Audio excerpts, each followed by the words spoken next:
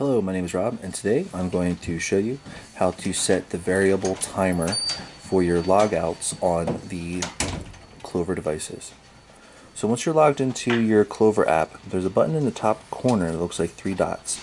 So if we click on that, it's going to open up into an option that says Settings. When you click on Settings, it'll bring you to this screen, and it'll actually allow you to click on the button here that says Login Timeout.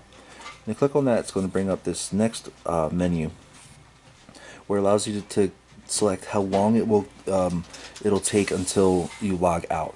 So it'll either log you out every hour, four hours, 12 hours, or you can even select never, which will keep you logged in uh, indefinitely until there you know might be uh, an update that comes down or something that'll that'll force the log out. So we can go ahead and click never. And now that I've clicked that, this device will stay logged in. You know, we won't have to log in every morning or anything like that. It'll stay logged in uh, until we want to log out. So that is how you can adjust your login timeout settings on the Clover devices.